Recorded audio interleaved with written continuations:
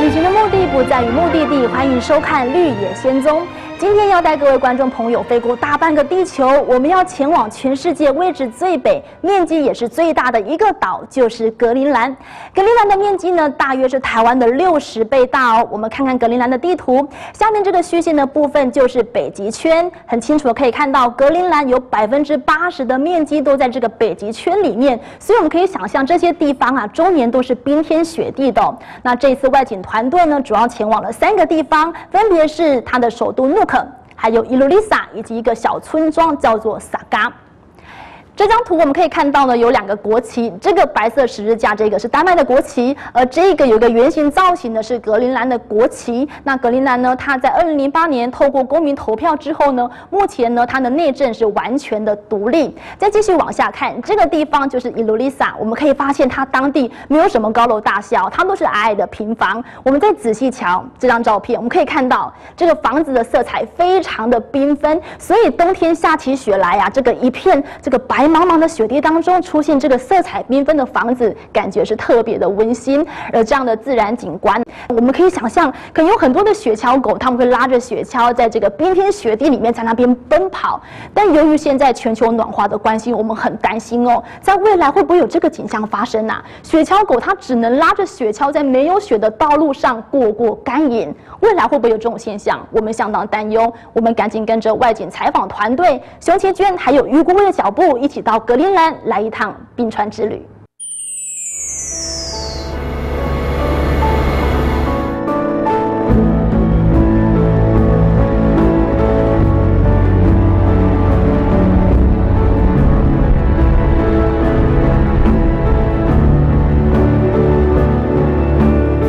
这里是全世界最大的岛，有北半球最大的冰原和冰山。全球暖化，冰川消融，这个偏远国度的变化牵动着你我的世界和未来。是的，这里是格陵兰。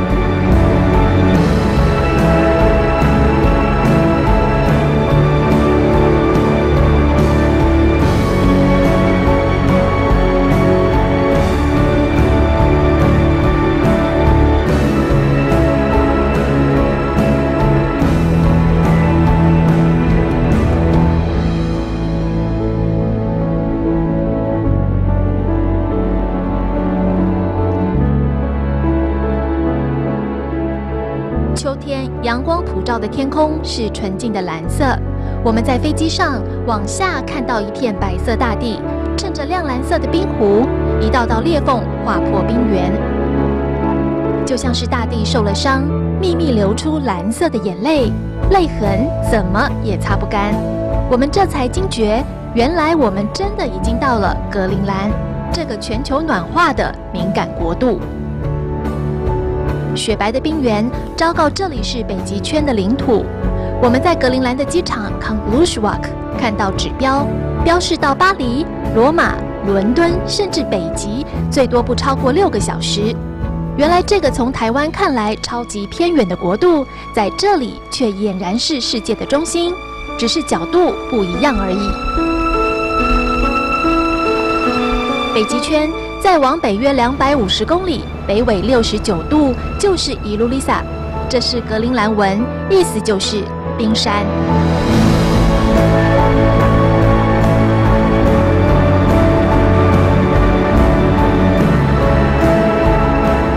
伊鲁丽萨是格陵兰第三大城，紧邻着 Disco Bay 的宽阔海面。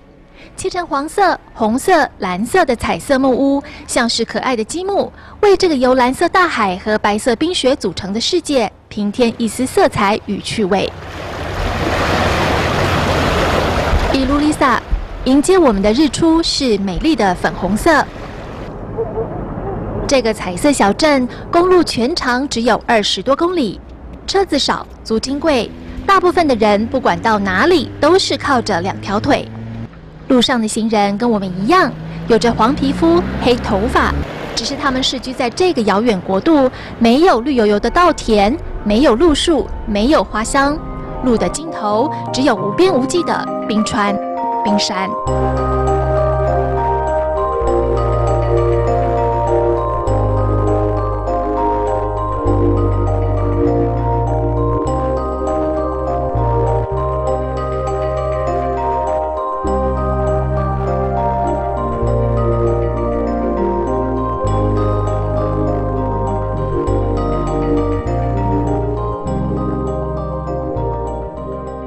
两千零四年的时候，呃，伊鲁利萨的这个冰峡湾就被列为世界遗产。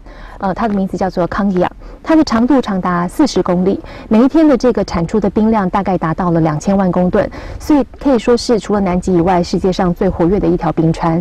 那它景色是应应该就是无敌美景哦。但是最重要，它每一年释出的这个淡水量是非常大的，它一天的这个淡水量大概就可以让一个整个纽约用一整年。镜头前，耳朵边，冰正在一点一滴慢慢消融。这一方白色山水，这个世界自然遗产，正面临全球暖化的巨大挑战。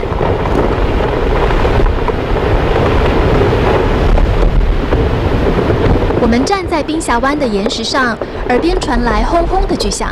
这不是打雷，而是因为从雅各布港冰川的前缘消融碎裂的巨大冰体，因为冰川流动的压力一直往前推挤，流经冰峡湾，不断互相挤压撞击，发出巨大声响。站在冰峡湾旁，目睹巨大的冰山在灰暗的云层下快速向前移动，让我们惊讶的无法说话。全球暖化说起来很简单的四个字，但我们亲眼见到冰川消融，竟然以这么快的速度穿过冰峡湾向外奔流，这样的画面完全超越我们的想象。这条冰川是现在全球流速最大、产量最大的一条冰川。现在它的流速已经增加了一倍以上。在我们观察这十年，从二零零一年到二零零九年，现在每一年它的流速是超过了十五公里，而这是见证全球暖化非常重要的一个数据。变迁、全球暖化、冰川消融、海面上升，一步步大幅后退的冰川已经发出警讯。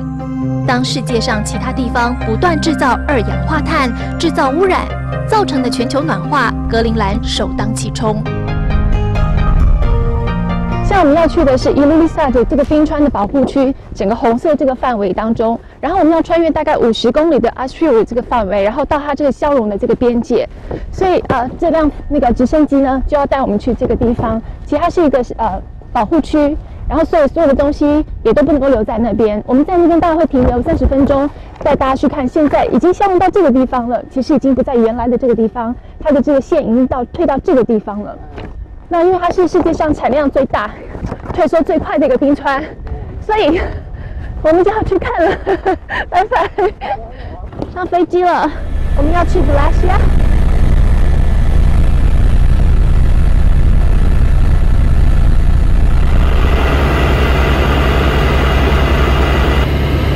我们坐着直升机俯瞰冰峡湾，从冰川碎裂的大小浮冰塞满了整个海面。格陵兰有着地球上除了南极洲以外最大的冰原，雅各布港冰川就连接到这广大的内陆冰原。被冰雪洗刷过的岩层留下了两三个水洼，像是不断消融退缩的冰川正在无声的呜咽哭泣，流下的眼泪。现在背后这条冰川就是，伊鲁利萨这条冰川呢，是全世界产量最大的一条冰川。它一直向东往内陆延伸到它的内陆冰原，然后它的出海口就是往西西流到 Disco Bay，所以这一整条绵延了好几千公里。但是现在它正面临一个很大的问题，就是它的面积不断的缩小，一直往后退，所以往内消融。未来它的河口可能会往这边再退过去。虽然现在看起来都是白茫茫的一片，可是未来这样子的一个美景可能会有很大的改变。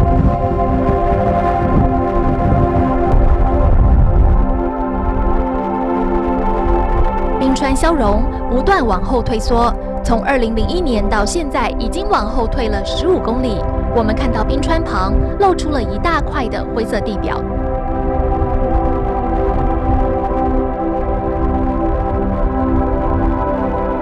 雅各布港冰川因为释出的巨大冰量造成的特殊景观，被列为世界自然遗产。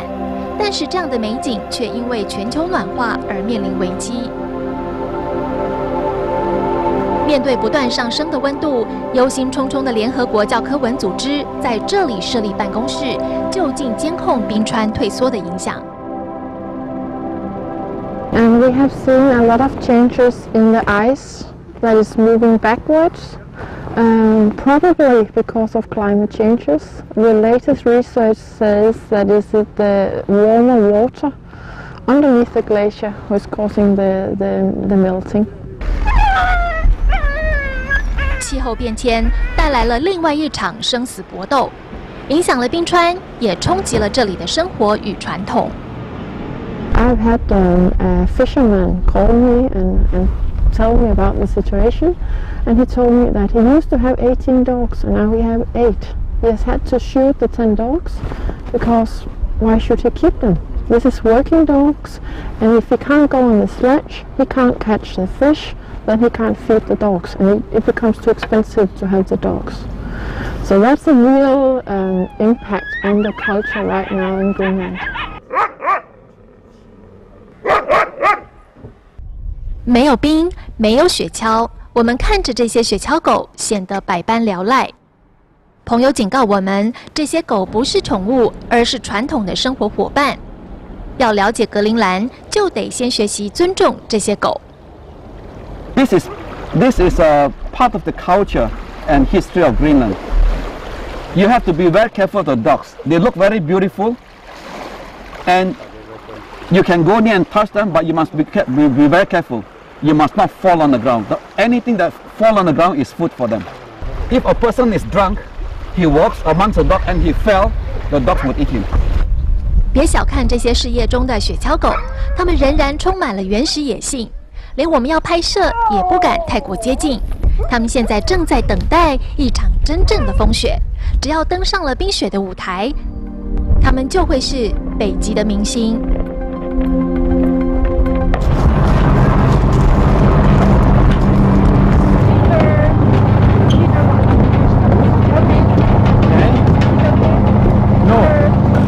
Sole. Sole. That is Ian Sole. That's the capital.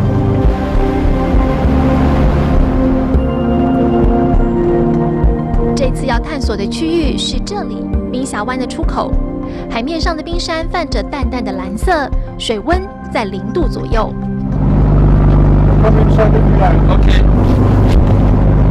船长严欧勒有三十年航海经验。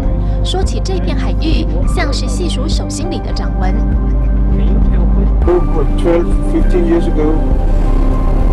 the icebergs was real icebergs.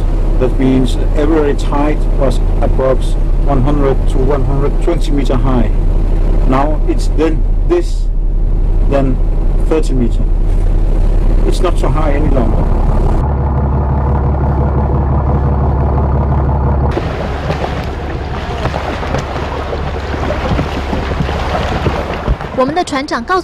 Our 在冰山中穿梭航行充满危险。看似平静的冰山，一旦崩裂，就可能掀起巨浪，击沉小船。这样的事一年发生好几次。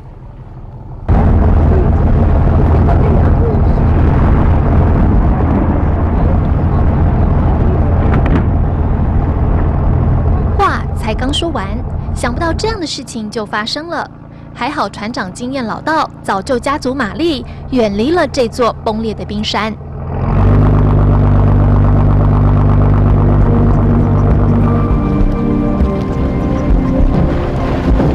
蓝色的海面有白色的浮冰，美得像是人间仙境。但如果掉进这样的水里，听说最多只能支持两分钟。相信大家都有听过冰山一角。我们在这里看到每座浮在海面上的冰山，其实只有小部分，其他百分之八十或九十都藏在看不见的海面下。而这些不管是看得到的或是看不到的，都一样在融化。This ice it's made uh, by uh, snow and ice melted in the summer heat on the ice cap. It's fresh water. There's no air inside, you can see. But on this, 原来透明的冰块里面是没有空气的，有空气在里面就变成不透明，而且很容易碎裂。 There's air bubble inside. Can we try? you can see tiny air bubbles inside. 你要试试看吗？ Microscopic air bubbles inside. It's just like a 再给你，再给我。 好喝哦，冰哦，万年冰河水，好奢侈的享受。碎掉，因为太多空气在里面，所以它就马上碎掉，很容易。我们笑着尝试万年冰川水的滋味，心里却浮出想哭的念头。这些冰都来自消融的冰川。彩色的城镇，家门前不是小河，而是大海，还有淡蓝色的巨大冰块。我们望着木屋里温暖的黄色灯光，好像是在向我们这些航向远方的归人招手，要我们快点回家。回家这条海路并不总是那么开阔。我们在塞满浮冰的港口前，看着小船不断穿梭，在最薄的浮冰之间奋力挤开一条小路，再一艘接着一艘回到港口，就怕一跟不上，又被浮冰堵住去路。根据这边的渔夫跟我们说，是因为现在全球暖化的关系，所有的冰都会碎成非常非常的小块，所以可能会塞住整个港口。那这边的渔夫不能够出去捕鱼，也没有办法进港。对于他们来说，这样的状况是非常危险的，而这也是全球暖化他们必须要付出的代价之一。看着破碎的浮冰顺着海流不断流进港口，我想起十七世纪时，旅行家尼格里曾说：“就在这里，世界走到了尽头，我的好奇心也到了尽头，现在可以甘愿回家去了。”现在我竟然也有同样的想法。下一站，格陵兰还有不同的面貌等着我们继续探索。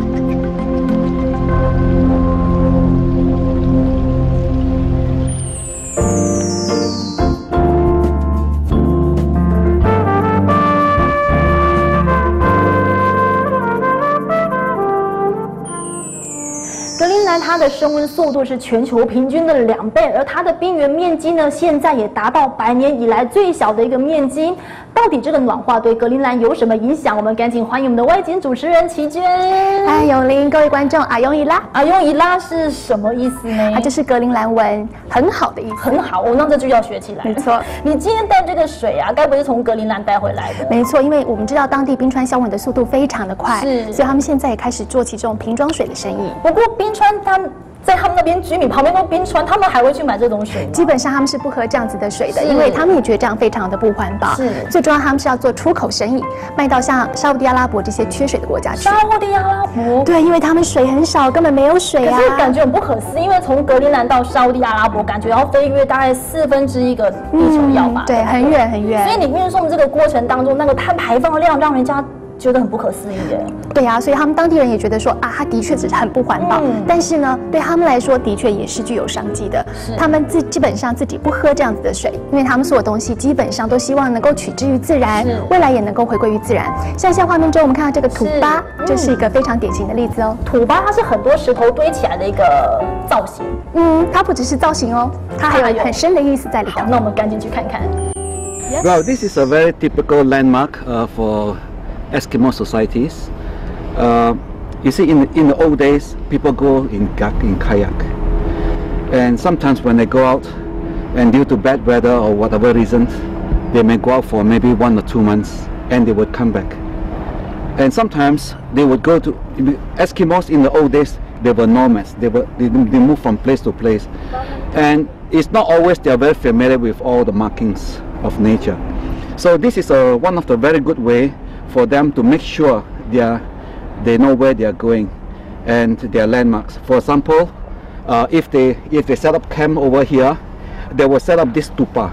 I call it stupa. That's how I understand it. Okay, but to them, it is a landmark by which, if they go out hunting or sailing, they can find their way back, and they know that this is the direction.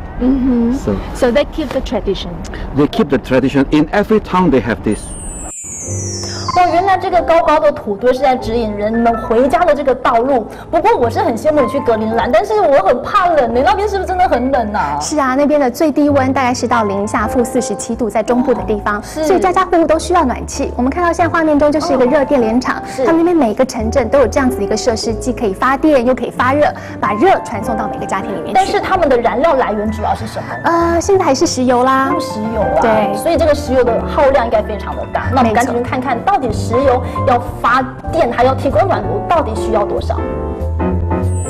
Only to start the power station and save the oil in the power station here is 6 million liter per year. And when the power station, hydro power station uh, ready, completely ready, we can save 2,000 mil, uh, 2 million liter more oil to heating in the town. So it's 8 million liter total we can save with a hydro power station. 我们发现这个冰川消融啊，也开始让格陵兰对于水力发电这个区块相当的重视。但是我有一个疑问哦，就是那边的物价是不是真的很高啊？那边因为种不出作物，所以非常非常的贵，特别是蔬菜水果。嗯嗯，像我吃素啊，对真的很贵。我们到超级市场去访价，大概一颗小玉西瓜要新台币三百六十块。嗯，三百多块的小玉西瓜，没错，高丽菜大概一公斤要一百八十。那你到那边有没有突然觉得住在台湾好幸福？在台湾本来就很幸福啊，嗯，但是我们很好运的，就是在那边第一天我们就碰到了一个贵人，他就人嗯全程的就是非常的护持我们哦。是，嗯，就是我们有一个梁先生，他在当地是开餐馆的，他碰到我们呢、去采访，他知道我们是大爱电视台，他也听说过大爱电视台哦，那么远的地方，他就每天带我们去每个地方去采访，然后如果说需要车子的话，他就免费开车载我们去，时间到了呢，就开车接我们回去，因为他开餐馆啊，所以呢，他就会带我们到他的餐馆里面去吃东西，吃的东西呢很特别，为什么很特别？因为跟格陵兰的食物都完全的不一样。我吃素，所以都是你看格陵兰种不出这些东西来的，每天都是素炒饭、素炒面别。准备的就对了。没错，所以他非常非常护持我们，特别是这一天，我们那天要坐船到 Nook 去的时候，在船上东西很贵，没有东西吃。结果船员跟我们说，等一下港口有人要找你们，你们赶快过去。我想谁呀？结果是梁先生算好时间，请他的员工送便当，让我们带到船上去吃而。且这还是素食便当的，没错，吃的时候简直都快要流流出眼泪来。边流泪，因为太感动了。没错，没错。不过你这一次看到很棒的冰原的这个风光，应该有看到极光，对不对？啊，对哦，我们真的超幸运的，也是在往路可的那个船上，我们就看到了极光啊，我们就说啊，有天上有绿色的彩带在跳舞，哎，好幸福哦但。是齐娟她也把这个幸福待会要跟观众朋友分享，所以下一集就有这个极光的画面要呈现给大家，所以下一集也是很精彩。没错 OK，所以你有没有跟那个梁先生介绍一下我们这个慈济的整个状况？人物他有精神呢？啊，有啊，其实他真的听过大爱电视台，可是他有一台节目。